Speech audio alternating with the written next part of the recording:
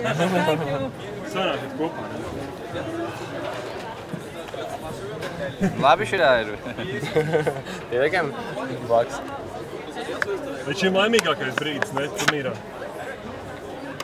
Nu, grūtākā spēle, protams. Nu, Uzvar pret Itālijiem arī bija laimīga, un arī šodien no rīta no Vācijas arī neskaidrs. Jā, viss spēle, tagad viss spēles svarīgs. Tagad, kā, paši, kā paši, pašiem labi jānospēlē, tad arī rezultāts būs. Tā kā Turpināsim spēlēt, nu, darīsim savu, savu labāko, ko mēs varam uz šī, šobrīd. Tā kā Gatavamies rītdienai.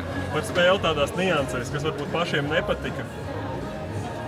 Ne, nav nekas, kas nepatīk. Ir kas bija sanācis vairāk un kas sanāca mazāk. Nu, bet spēle ir spēle, bija labi. Daudz otrā setā atnācām apakaļ, cīnījāmies par katru punktu. Bija daudz labs, labs izspēles, kas, kas mums arī bija pozitīvs. Un es domāju, tāpēc arī mēs to spēli biju šeit salauzām. Tā kā ļoti spāņi, ļoti labi komanda, ļoti labs saidovs. Tur, es nezinu, var... Es nezinu, saidovs tas ir uzbrukums.